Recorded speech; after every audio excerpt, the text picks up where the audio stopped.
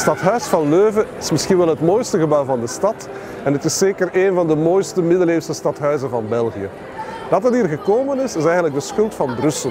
Toen er in Brussel in de 15e eeuw een nieuw stadhuis gebouwd werd, vond Leuven dat ze daar als stad niet voor mochten onderdoen en werd er beslist dat hier ook een nieuw stadhuis zou moeten komen. Eentje dat dat van Brussel zou moeten overtreffen. Toen het stadhuis klaar was in de 15e eeuw, had de stad geen geld meer over om een beeldhouwer te betalen.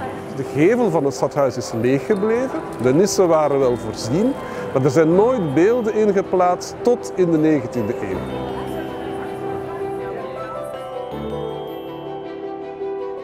In de 19e eeuw heeft men het stadhuis gerestaureerd en dan heeft men beslist om daar inderdaad voor nieuwe beelden te zorgen. En vanaf het begin van de 20e eeuw stond het stadhuis plotseling vol beelden.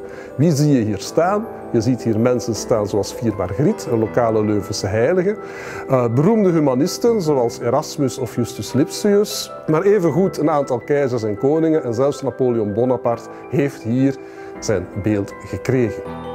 Dus wat zie je hier? Je ziet hier een aantal 19e-eeuwse beelden, maar je ziet hier ook afgietsels van de kleine beeldhouwwerkjes die er wel al in de 15e eeuw waren.